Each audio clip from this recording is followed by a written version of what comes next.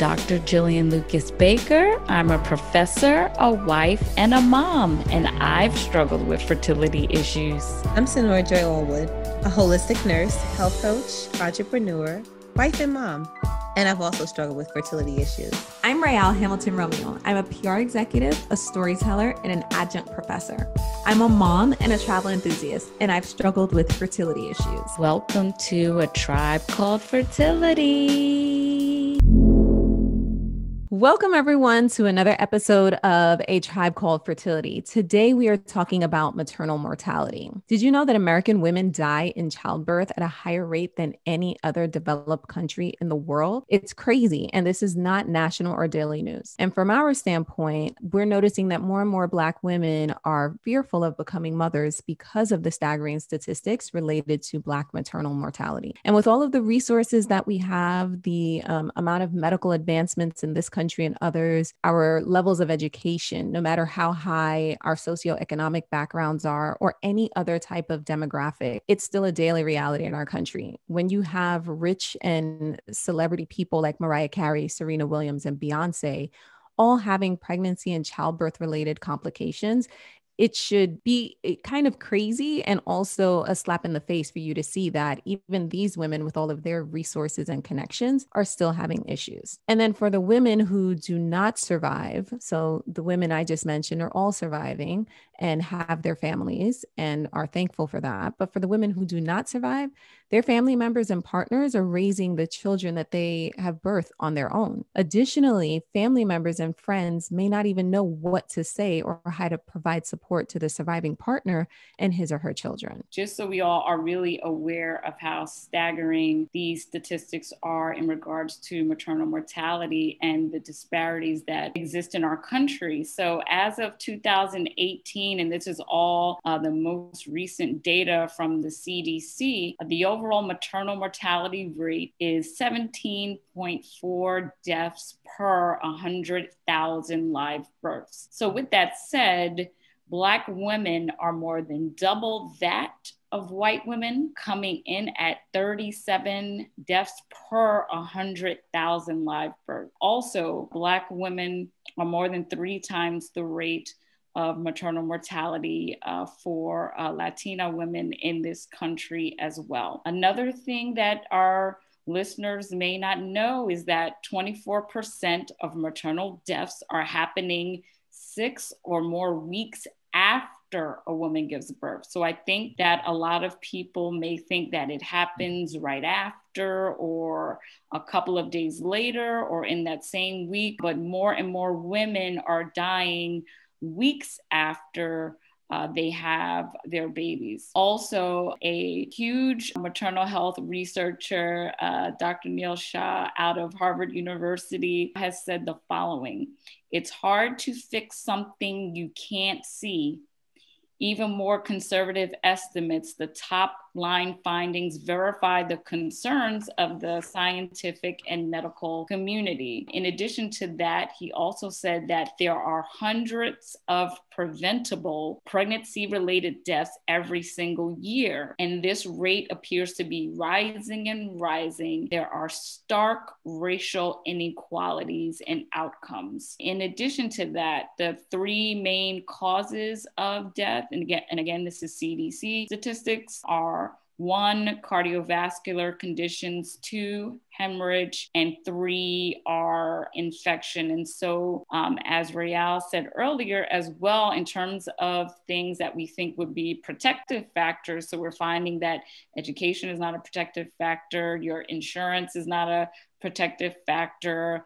Um, Black educated women are likely to have more dire outcomes in terms of their pregnancy and after they deliver. And so here we are uh, again in 2020 with all of these staggering uh, statistics that for me are just, you know, uh, a slap in the face. So, just from my standpoint, the numbers actually do correlate to real life experience. Black women, educated women, we are faring less favorable in a childbirth situation. And I can't say why. I've had um, traumatic birth experience, and me being a nurse didn't even protect me. So um, the one thing I can say is that we are our number one advocates, and our loved ones, and partners, and husbands, and wives, and we have to take this matter very serious anytime we enter into for ourselves and for our loved ones. That's really pretty much, you know, what I can say about it because it's just such a terrible situation. And what we can see right now is that we can't trust, you know, anyone else to be there for ourselves, for us. We can't trust others.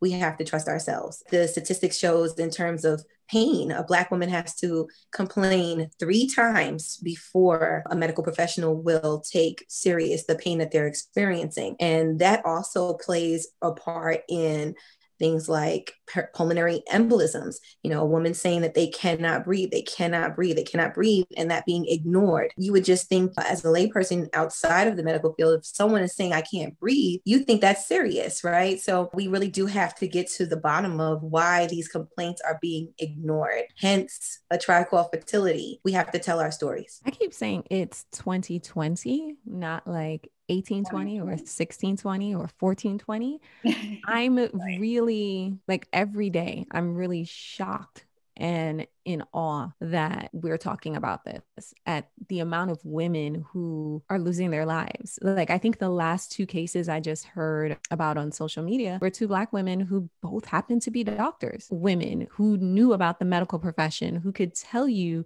about what it was that they were experiencing, both married. So, married, educated, well off, and medical professionals and none of those factors save them. And it's 2020. To me, I'm like, things should be getting better, not worse. I wholeheartedly agree. Like we have such technological advancements where you have nano surgery now, you have nanotechnology where you have nano robots whom can perform intricate surgeries. So it's just to me it's it's just mind-boggling the fact that in a country with all these resources all of these you know technological and scientific advancements why are we where we are today? I think about the young woman who was on the panel that we moderated last month and she said that her blood pressure was elevated and that she needed yeah. to calm down. And she was like just give me a chance to catch my breath. Like i know my body. Just give me a chance. Mm-hmm. and i wasn't there you know obvious so like i don't know like what the interaction was like but i think you know in childbirth you're already in this heightened state. And then as a medical professional, assuming you already know what the stakes are. So it's like you have both sides that are like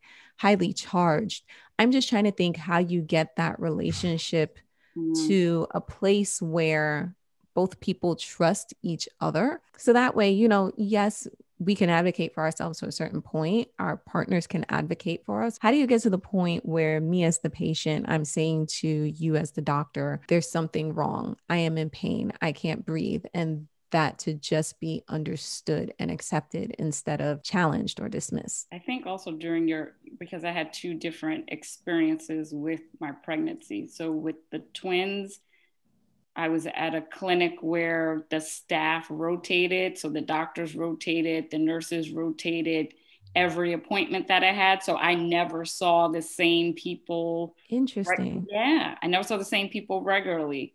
Um, so for that, in that situation, I think it's more challenging to establish relationships where you're not seeing the same people all the time.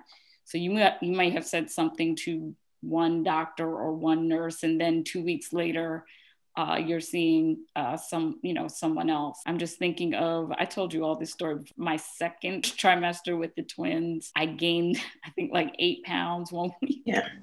But this was after like the first trimester of not eating and throwing right. and vomiting, and then it quickly flipped, and then I got an appetite. And and this nurse was one of my favorites. She was African American, and she just said, "Jill, you can't, you know, you can't gain this much weight in one week.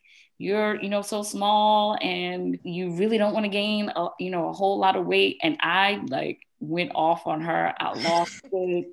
I wrote this in my my journal, my pregnancy journal. I was like. I gained too much weight. And, you know, and I also knew that, I mean, I was doing my reading I knew how much weight I could gain in my in my pregnancy and I knew that it was the beginning and I knew that towards the end I would probably stop gaining weight. And I was only supposed to gain 40 pounds and I gained exactly 40 pounds. Wow. And the last month of my pregnancy with the twin, it was all water because uh, my legs were swollen. I couldn't put on my shoes. Um, so that's just an, an example. And I think you, when you have a relationship and you have the same person, mm. with Amari, I had the same doctor.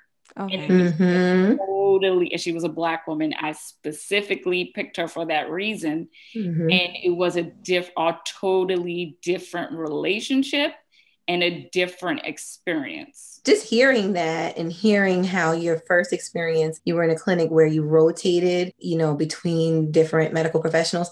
For me, being in the field, that is like a red flag because wow. that interrupts continuity of care. Here we go. Um, so, in order for you to develop a rapport with a patient, you have to, of course, have yeah, you, have you know regularly scheduled appointments. Yeah. Exactly. And I think for me, I don't really establish that that rapport until maybe like third visit, second, third visit. And that's when I kind of start to feel more comfortable. We talk more patient may share more that's where it kind of promotes you know a better outcome in a sense for me so that to me is like a red flag and if that's kind of how medical practices are evolving that could be part of this issue you know what i mean yeah. because if you don't know the patient if you're just seeing them not to say that you can't handle it based on chart notes things of that nature. But I do feel that you do need to see someone more than once in order to really kind of have an understanding of, you know, a patient. So that was going to kind of be my question. So you said you were at a clinic where the staff rotated. Did the staff rotate within that clinic or were they rotating among many different no, just medical the, facilities? Just, just the one. Because I'm thinking, and again, you know, all of my medical knowledge comes from TV. I'm like, do they not have like shift meetings, staff meetings where they're like, this is so and so this is the case blah blah blah that you know she's having twins um came through fertility treatment she's potentially high risk she's also having a geriatric pregnancy like right i mean like yes it's in the file but you only have like two seconds. You pick up a chart, you walk in the room, and yeah. you're like, oh, yeah. you know, Mrs. Baker, blah, blah, blah. Right. Is there not that like conversation, or am I being just like a little no. Pollyanna in my thinking? No. So, what you're talking about is report. So, report happens in certain settings. So, like mainly kind of like in hospital type settings. Um, but it doesn't always happen in like a clinic setting. Sometimes we have interdisciplinary meetings. It just, it really just depends on the setting, but not, I haven't really experienced that. I've worked in uh, wound care clinics um, within the hospital, and uh, I haven't really experienced uh, report per se. Okay. So, yes and no is if that kind okay. of answer. yeah.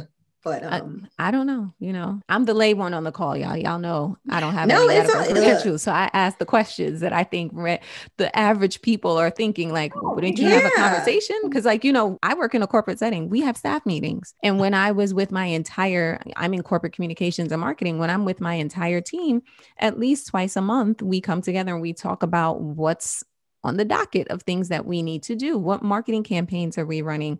What press releases are coming up? What internal communications do we need to discuss? So for me, I'm like communications and marketing in the grand scheme of things, it's trivial. Whereas in a these medical setting, like these are people, these are their lives. Wouldn't it warrant that you would want to have um, additional touch points, additional conversations, and things like that?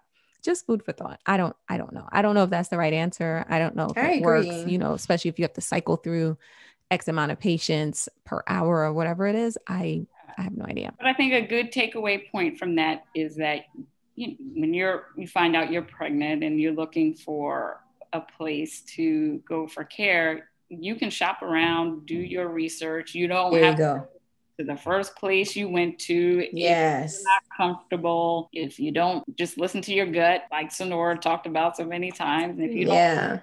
leave and know you have absolutely there's so, options and you know what I think, like, you know, as a patient, coming from a patient standpoint, I think that we don't often feel that there are options like it's not, you know, like how we would make a regular business mm-hmm. decision. Mm-hmm. You know, I may try you out, I may interview you, but you can do the same thing with your health.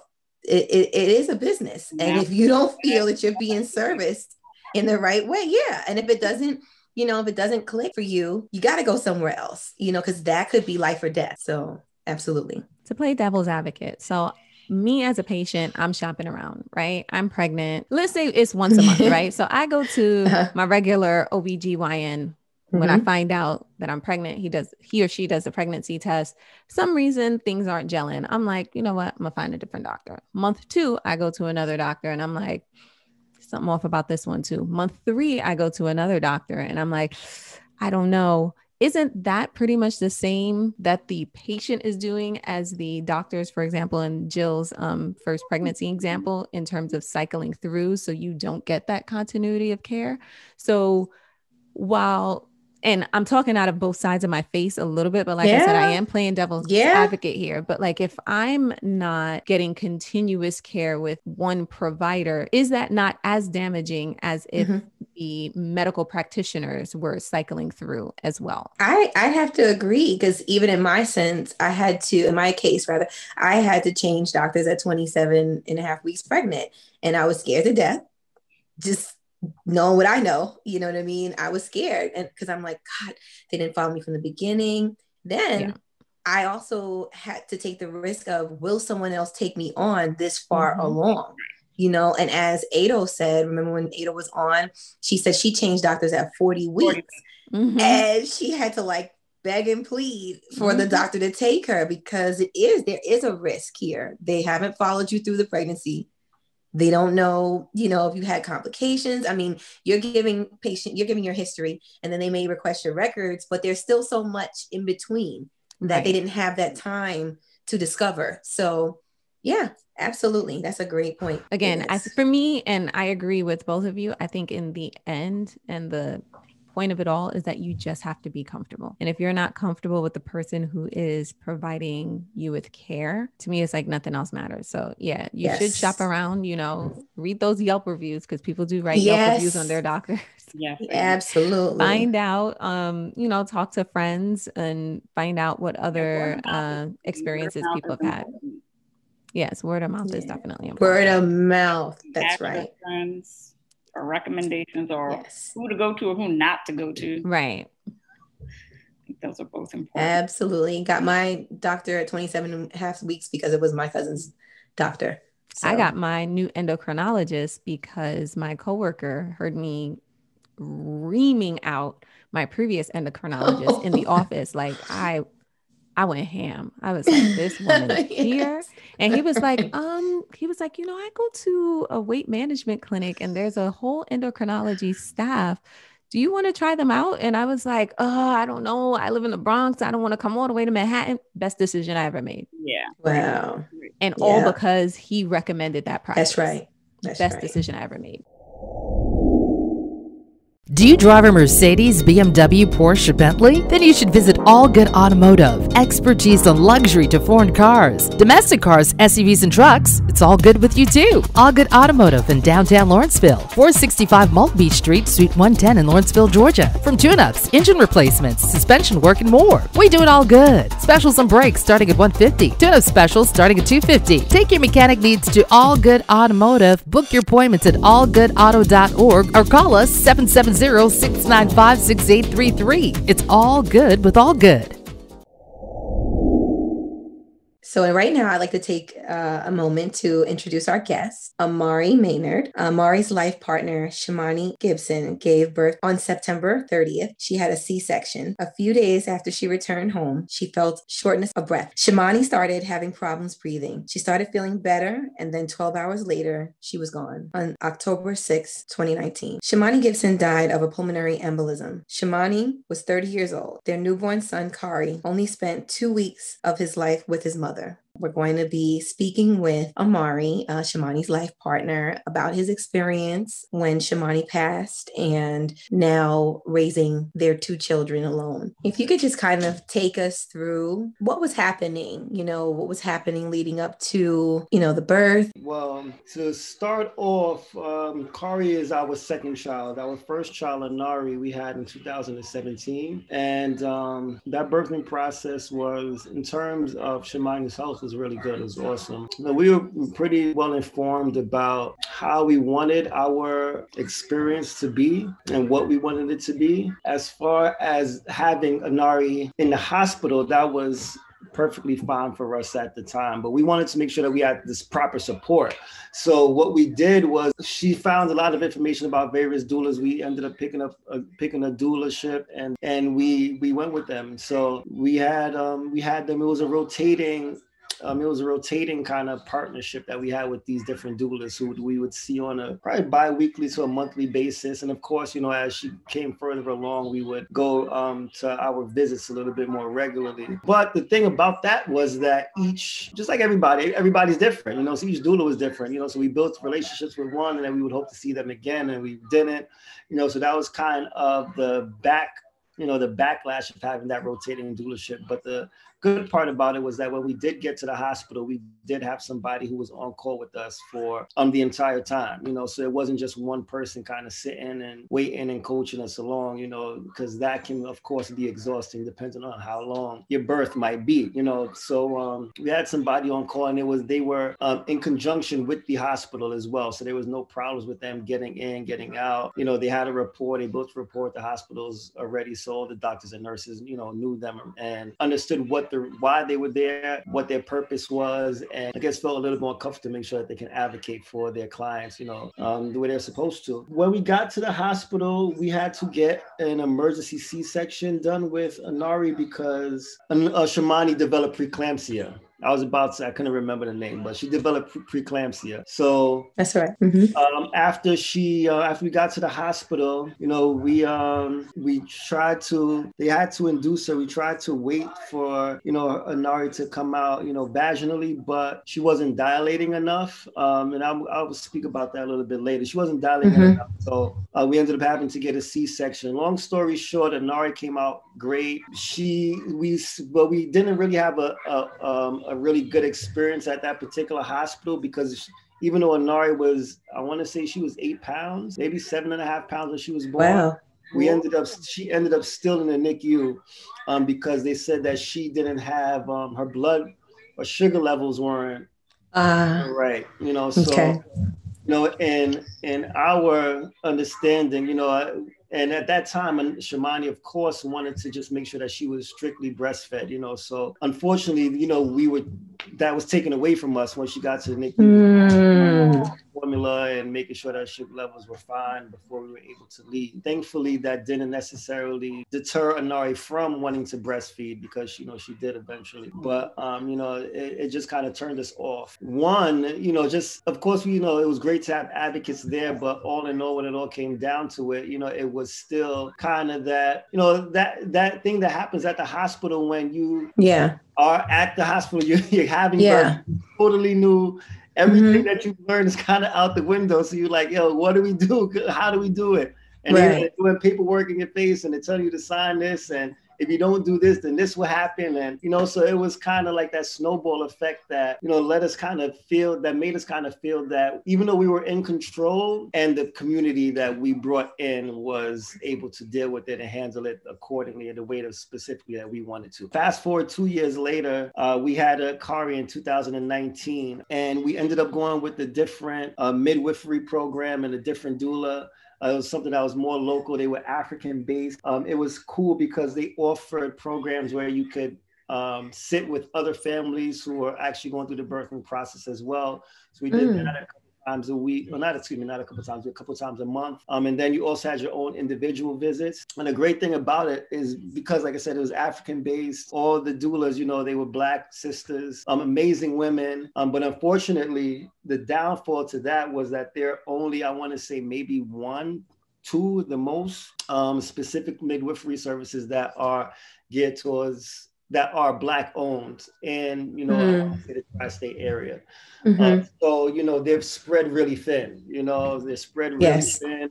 They they have it's, it's, dealing with a lot. You know, um, it's dealing it's a lot to have to service an entire community when you're only but you know one or two or three people. You know, so absolutely. Um, that was kind of the the downfall for that. But mm-hmm. like I said, the experience was amazing. Fast forward, what we did this time is we we wanted to have a VBAC, which is a, a vaginal yes. birth after um, a C-section, and we wanted to have an at-home birth. So we got a mm. water birth. Got all the equipment to have the water birth at home. Um, mm. Uh, midwives are on board with it, making sure that they prepped us and gave us um, you know the experience and the exercise and the made sure that we were on the dietary plan that we needed in order to make sure all of these things kind of went as smoothly as possible.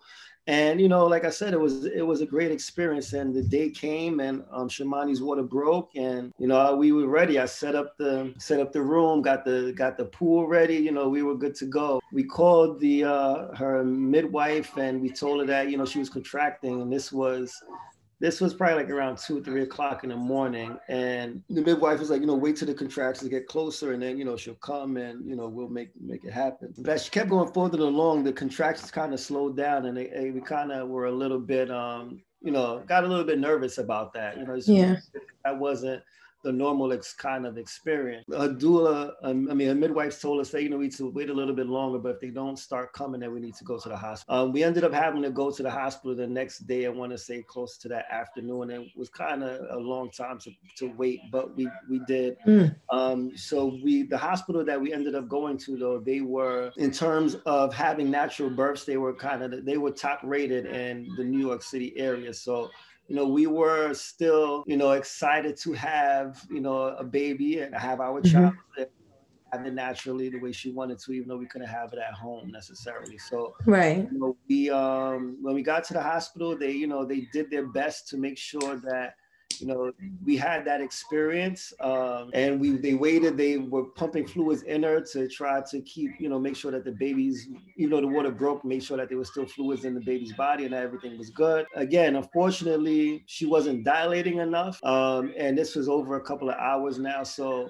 you know, we had to go ahead and get another C-section. And I think just kind of, you know, in hindsight and retrospect, just you know, with just the generational traumas that women have to deal with when giving birth to their, you know, to their children, you know, it's something that's, you know, held in the bodies for generations to come, you know. So I think that was really kind of one um, main reason that Shamony wasn't really dilating, just the traumatic experience of being, you know, a black mm. you know, in America is just a real thing. When we got to the C-section piece, we again, we, you know, it was kind of unfolding where it was like, all right, again, this is not in our hands the way we have wanted it to. So, you know, ultimately you want a healthy baby, you know, regardless of how the baby is birthed, you know. So that was what we were banking on um, at this point, you know. So um, when Shamony went in for the C-section, uh, she um, she had webbing, and webbing is basically when they cut her open to get the baby out, the intestine kind of fused together. So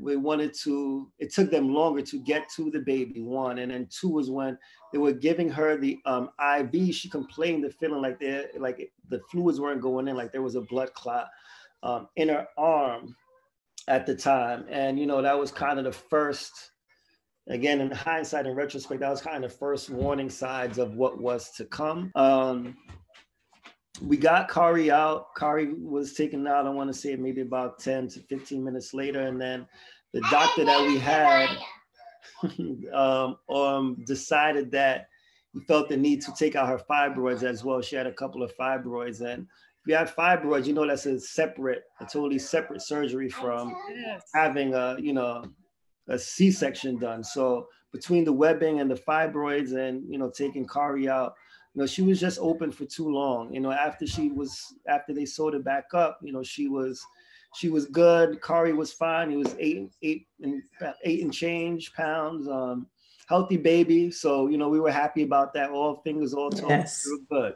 Yes. So um, and we all made it out the hospital. You know, which is also right. We all made it out. We all made it out safely. Shamony was um, was good. Khari was good. Um, but when prior weeks, you know, is when um, she kind of started experiencing shortness of breath, chest pains, um, couldn't really talk the way she was used to, couldn't really move around the way she was used to.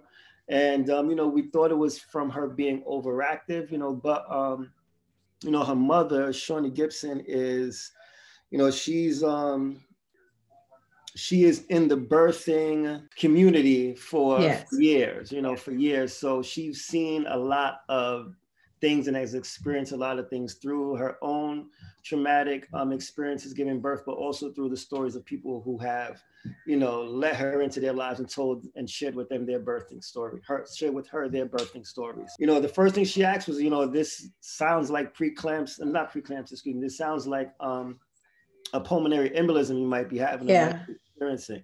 And they had yes. conversations about that before, but um, you know, Shamony was like, I don't really think so. You know, when she went to the doctors, they they didn't they didn't feel like she was having one. We went to the doctors, I want to say about three different, three separate times. Um, before she passed away within the two weeks. One was to for them to check out Khari to try to get them on their nutrition plan. The other one was to get our paperwork together in terms of um, getting his, you know, social security and stuff like that taken care right. of. Also to um, get uh, Shamony Staples checked out. And for each mm-hmm. time that we went, you know, we spoke to somebody, we definitely let them know what the symptoms and the signs that we were seeing and just kind of wanted some insight and perspective. Um, every time we went in though, it was it was, you know, it's okay, you'll be all right. If anything gets worse, you know, just call us up. And then when we did call, it was it was pretty much the same the same conclusion. Like, you know, um, you know, you just need to rest, you just need to stop moving around it. And you know, she was a very active woman. So we thought that might have been the case of her just being kind of more active than she needs to be, um, especially because, you know, this was within these last three years, now her second birth. But you know, unfortunately, that that wasn't the case. You know, she was, in hindsight, having pulmonary embolism, having experiencing blood clots running through her body. On October 3rd, she um, was having really bad chest pains and couldn't get up the steps in our house. And um, you know, we was that's when we were really kind of nervous and really trying to figure out, all right, what should we do? We called her mom, and she her mom had people come over the house to make sure that Shamony was, you know, just able to lay up and relax and have people come over to, to cook, clean for those next two days for the third and the, the excuse me, the fourth and the fifth of October. And on on the fifth, we had Shamony's mom came over, her aunt was over, and her god sister came to the house. And we were all just kind of chilling, hanging out, you know, taking care of the babies, watching TV. And um, you know, Shamony was like, um, you know, she was all right. And then I want to say like around maybe about seven, eight o'clock, she was like, yeah, I need to go to the hospital. Like, I'm not feeling good, you know? So, you know, and if you know Shamony, she's not, if she's saying that, then you know, it's, it's time to get up and, and really start moving, you know, because, you know, she's really just kind of resilient and, you know, um, not the really type of person to ask for anything outright that way, you know? So as I'm getting her bags together, and getting everything together to go to the hospital. You know, her mom and her aunt just scream out to me hysterically.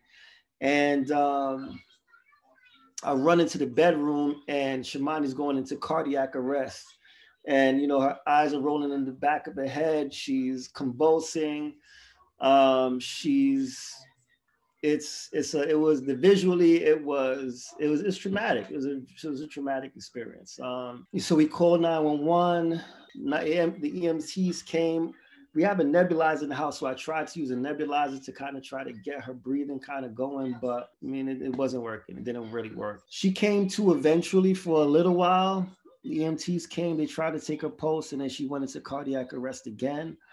And during this whole time, like the EMT workers are like, you know, like telling her to hold still and relax and calm down and while they're trying to take her pulse and take her vitals you know but you know at this point you know she's literally fighting for her life. So you know that's the last thing you know anybody right. to do you know if they're fighting for their life.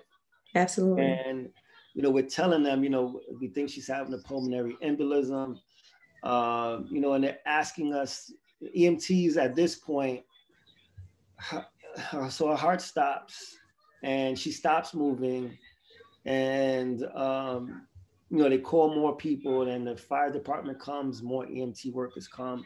And you know, as they're coming in in stages, you know, they're asking us the same questions. And one specific question that they continually asked us was, "Was she on any drugs? Did she take any drugs?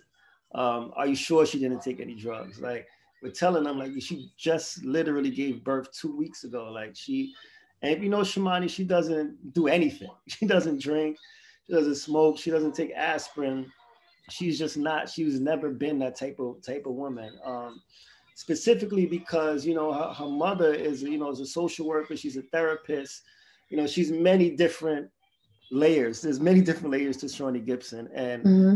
in turn, there are many different layers to her daughters and her son. You know, so Shamony, you know, understood like understood the effects that these things can have, you know, on a person. You know, so that was just never her you know, it's never what she was into. You know, so um, um, long story short, um, she coded. They eventually were able to get a pulse. They couldn't get her heart necessary to keep to to beat to where they could feel it, but they could feel a pulse.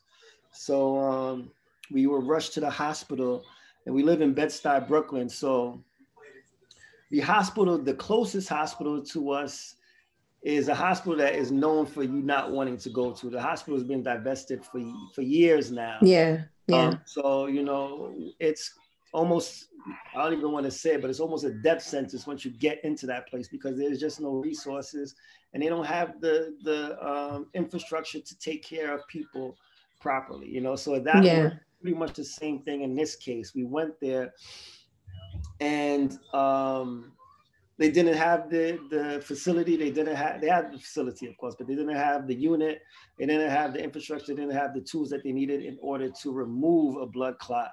All they could really do is give her blood thinners but at this point they needed something of course more aggressive yeah. and you know something a little bit more a lot more urgent. And the only way for her to get to the hospital that had one which is i want to say kings county. Mm-hmm. um, hospital is probably the closest one that has that unit. Um, she needed to be breathing and also right. um, needed to be breathing and her pulse needed to be you know moving on on her own. And um, you know she never made it to to that point where they can transfer her 20 minutes away. And uh, of course you know in hindsight you know that would be the first place that i would tell would have told them to go. Um, and even though she coded and even though you know things were bleak, I would have at least felt a lot better if we had the opportunity to try to make sure that we put her in the best place to make sure that you know she would still be here today in order to enjoy her family. Um, she stayed in that hospital for almost 12 hours on um, pretty much the respiratory machine to help her breathe, you know, assist assist her to breathe. And um, yeah, she after a while, what ended up happening to happen was, you know, her, her she was just pretty much kind of downgrading and downgrading. And I want to say the September 6th that morning, um, she coded again, and you know they were giving her chest compressions for like literally an hour. You know, they were rotating doctors and nurses rotating um, I want to say every two to five minutes, just giving her chest compressions, chest compressions for at least an hour. And she ended up passing away October 6th at around 11 a.m. Yeah. And I mean, there were just so many, so many layers to this story and so many yeah points in this story where this just didn't have to, this didn't have to be the, the final outcome. There were many times where, you know, it would have taken just talking to the right doctor, having a conversation with the right yeah. person, you know, engaging with the right, you know, hospital, you know, and she would still be here today and, and she'd be fine, you know, but, um, you know, that is the plight. And, you know, you don't know until you know, you know, so I didn't know, yeah, that, you know, maternal mortality and maternal morbidity was such, was so rampant in the black, brown, and indigenous community. We don't talk. We don't talk about it either. Yeah, exactly. Yeah. At all, at all. You know, and, until you know Shamony passed, and people started opening up to me specifically about conversations that they've had with other people or things that has happened to them personally. yes. Family member. You know, so um, you know, since then, you know, I've been on kind of my own crusade to help you know one really just to shed light you know to shed light on on what you know our women are experiencing.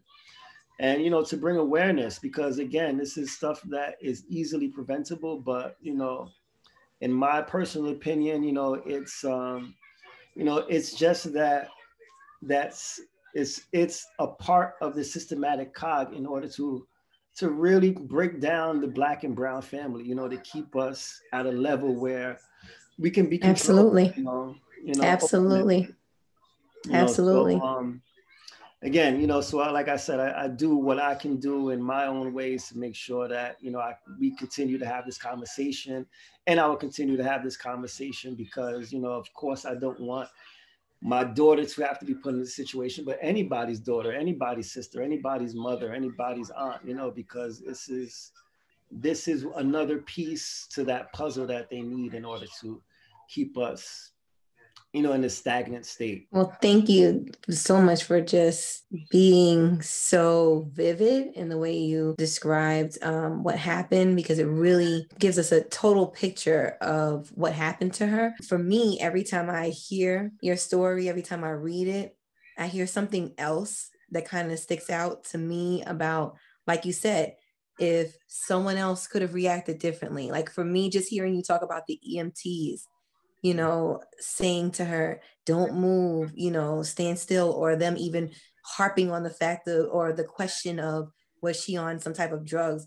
You know, it just, it makes me angry because it's a lack of training, a lack of professionalism, um, and all those things, you know, that, that lack led to her not being here today, you know, and it's just, it's very frustrating. It's, it makes me angry. I really just commend you and applaud you for having the strength you know to to to carry this torch because it's it's so necessary Omari it's so it's so necessary you know so i mean for me like the emts i'm just like i can't get over that part right there you know um, especially in light of you know um, maternal mortality now the number is eight in new york city so for every one white woman who dies eight black women die during childbirth right now and so, um, knowing that this happened to you in New York City, all of the complications that could have possibly arose, they they came. It's mind-boggling because again, here you have two educated people. You know, um, just listen to you speak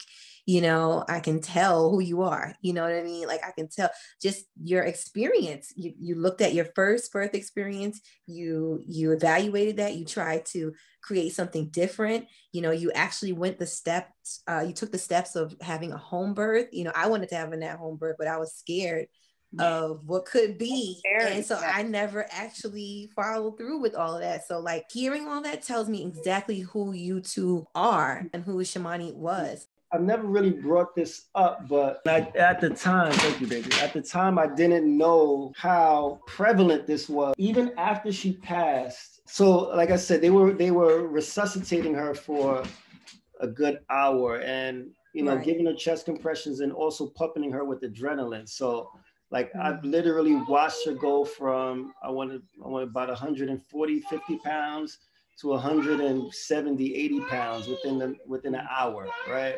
On the um, death certificate, what they wanted to put, or what they ended up putting, was that she was obese. At the time, like I didn't really think anything of it, you know. But after having conversations with with um, Shawnee, you know, we realized that you know one reason why they would put that is then to give um, a reason to say like she passed away because of X, Y, and Z complications. Absolutely she wasn't taking care of herself physically and nurturing her body properly, and therefore X, Y, and Z happened. And this was a result of that, you know. So it's just like things like that, you know, where they really, you know, like really pull these strings and really try to pull the yeah. over your eyes in order to then, of course, save their own butts, you know, but you know, to also, um, you know, put you in a position where you can't necessarily get the justice that you de- deserve. Absolutely. You know? uh, when these hospitals are essentially trying things out on you, you know, or, or um, just not giving you the proper care and doing the things that are of code, you know, as, yeah. as doctors and nurses are are supposed to take care of their patients but You know, you're you're 100% on point because anyone would know that has been a part of a code that excess fluid is actually fluid overload, um, and it's due to, like you said, pumping the patient full full of fluids, things of that nature, and so that is crazy that they would actually say that she was obese. And you're right; it almost sounds like you bring like, that up because when yeah. I was doing the research for the stats, one of the reasons that act, the actual numbers for maternal mortality are probably not accurate because of death certificates. Mm-hmm. and what is put on the death certificate after a woman dies mm-hmm. after you know they give birth. So the fact that you just said that just puts two and two together. And so this yeah, is gives credence. happening. So people can try to get off and not take accountability for these you know these systems and the doctors and providers like not providing the proper care during pregnancy during delivery after delivery so for you to say that it happened in in, your, in this your case case, like that's insane yeah. um so the numbers are probably higher mm-hmm. than what they are yeah, and they went into CYA mode. The hospital yeah, went into definitely. CYA mode, you know. What's yeah, no interesting problem. is I'm technically obese and I take care of myself. Like I'm obese because of a hormonal condition. So whether mm-hmm. no matter what I eat, if I exercise or not, like I could breathe air and it's like, up, oh, step on a scale tomorrow, additional two pounds. So it's like obesity really is making my blood boil because like mm-hmm. that's really is not necessarily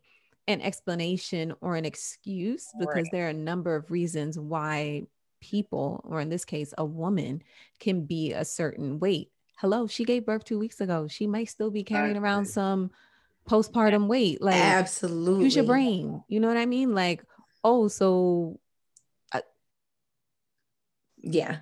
I mean I, I i have to agree with my co-host. It, it is nuts. While obesity can be a contributing factor to complications, it is not always the cause, you know. And so it, yeah, it just it just it really just angered me to just hear how Shamony was mishandled you know, almost every step of the way in a sense, you know. And I used to live on Hancock and Nostrand.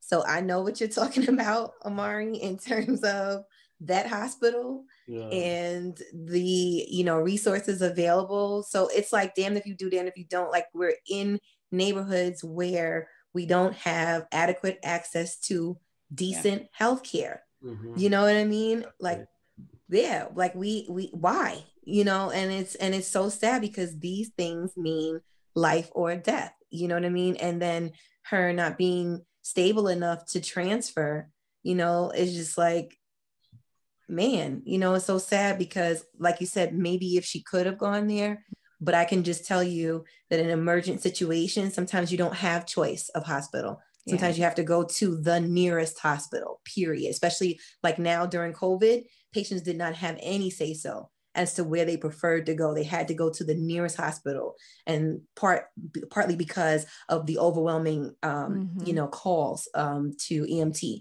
and yeah. stuff. So it's just like there's so many factors that we can't even control. You know what I mean? Um, that are playing such a big part in these outcomes you know um i totally get what you're saying like in terms of the nearest hospital versus the hospital of choice and i just wanted to clarify the hospital where shamony was being treated after delivery. Is that the same hospital where she delivered um no, Khari? That, that was a different hospital. Oh, okay. Hospital, yeah. And the the hospital where she delivered is that the hospital where she would have gotten the treatment that could have potentially um, helped save her life, or was it a different no, hospital? it would have been a different hospital. Oh, okay. So okay. the two hospitals that are in Bed-Stuy are the two that we ended up going to, but the one that we needed to go to in terms of like, well, King's County, the one that had the the unit is further down into Flatbush.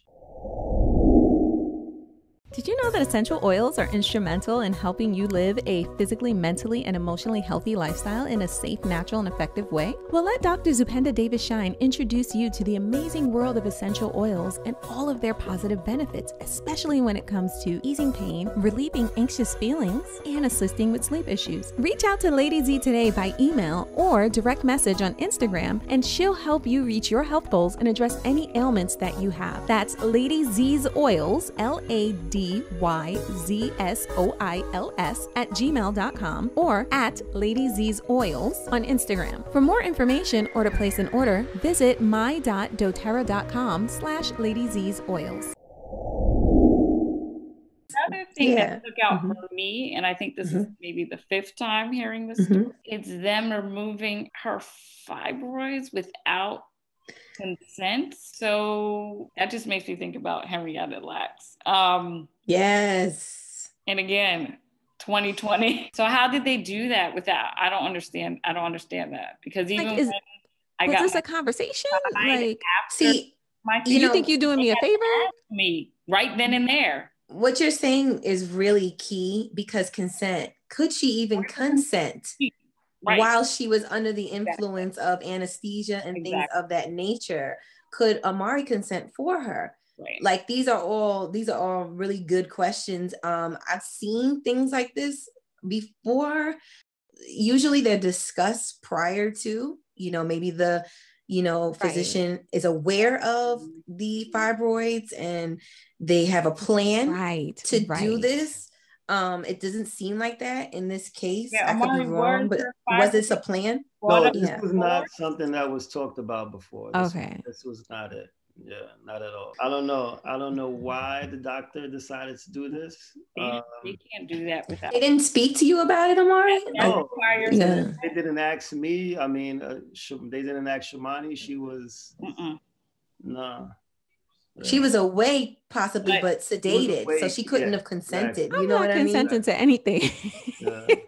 But you can. That's If this actually is what I'm- illegal. right, Like, like- you know what I mean? So to me, and unless the fibroids presented like imminent danger, like maybe one of them were was bleeding, you know, but I would think you would have known that, you know, Omari. So like I'm just I don't even understand. Like, you know, it's and just I to just don't clarify, understand. Just to clarify for our listeners, the doctor who delivered um Khari, Mhm. so did the C-section, delivered Khari. Was that doctor your wife's um gynecologist or OB? No, not at all. Like this. Oh, is okay. This is. I, I've never seen him before that, and I never saw him after. Um, Mhm. he he came did did his job and and that was it um it was definitely not Shamony's gynecologist at all And that's wild to me because I'm like, I think where you and Sonora were both going in terms of maybe you were aware of this beforehand. So if that was the gynecologist and you've been talking to the gynecologist prior to getting pregnant about having these fibroids, and the gynecologist is like, you know what, so that we don't have to go in and do another procedure, let's do this now. It's something we discussed beforehand.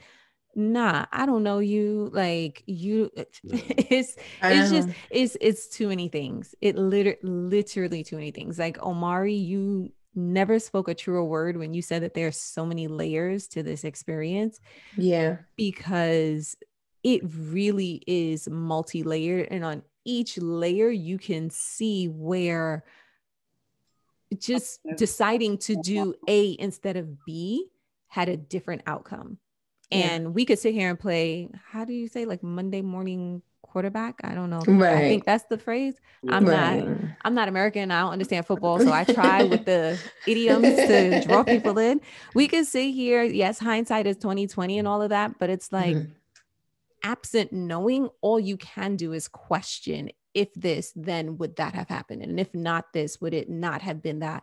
So it, it just really makes you wonder. Um and even in this instance omari was present and he was there with shamony and he's advocating to the best of his ability and it still fell on deaf ears. Even with um Shawnee, Shamony's mother, being someone who is connected to the birthing community and has some inclination in the way of postpartum conditions and prenatal conditions and those types of things, even that didn't necessarily help. So, again, here it is like, regardless of your education, where you're living, all of those other demographics we ran down.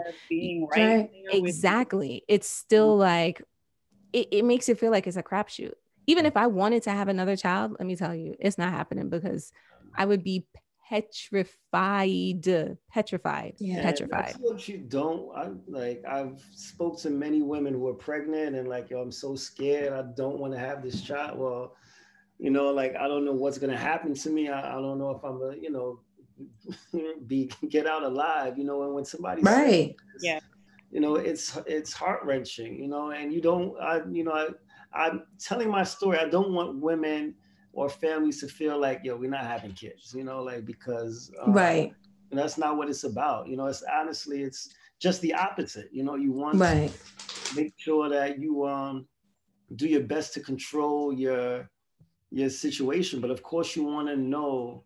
You just want to be in the know. You know, you want to be in the know because you want to know. Right. honestly, sometimes it's even better to be ignorant and not know, right? And just go in blind, right? You right. Know? Ignorance Which is what you bliss. always say, Sonora. like sometimes you I wish mean, you didn't know what you know. Yeah, exactly. It's a hard, you know, it's a hard pill to swallow. But I agree, you know, but Omari, your, your story doesn't make me afraid. It just like you said, it makes me aware, aware. of the dangers. Mm-hmm. You know what I mean? And that's why I think it's so powerful that you share it um, because now families will have more tools to protect themselves. You know what I mean? You gave us so many different checkpoints. Seriously. You talked about you talked about the doctor's appointments, her follow-up care, and how she kept saying, I'm having difficulty breathing.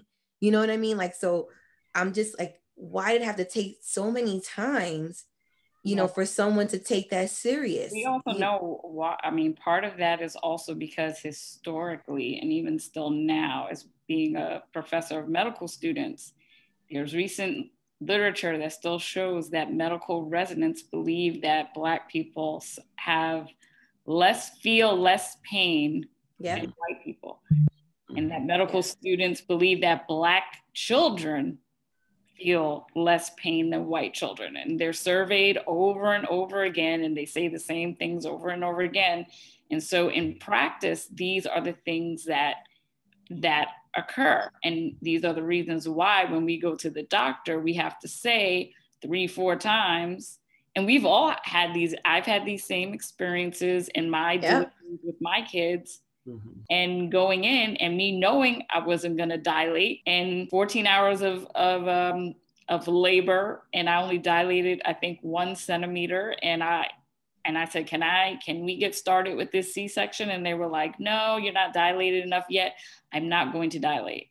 Yeah. I'm not going to dilate. I didn't dilate for 36 hours with my twins, two centimeters in 36 hours. So 14 hours, mm-hmm. one centimeter, that's all you're gonna get from me. Mm-hmm. Can we please get this started? Like right. I don't want to be here any longer than I have to be. And that's straight up uh, how I how I was. I, you know, when I when I talk to, you know, white counterparts of my white friends of mine and their birthing experiences, I do not hear these stories. Please follow A Tribe Called Fertility on Instagram, Facebook, and Twitter. Feel free to DM us with your questions, thoughts, or share your fertility story. For more information on your amazing podcast hosts, please visit www.atribecalledfertility.com. And if you're listening to us on Apple Podcasts, please rate and review us. It really helps the show and we welcome the feedback. For those of you who are watching us on YouTube, be sure to subscribe to our channel and hit that notification bell so that you know when we're dropping new content.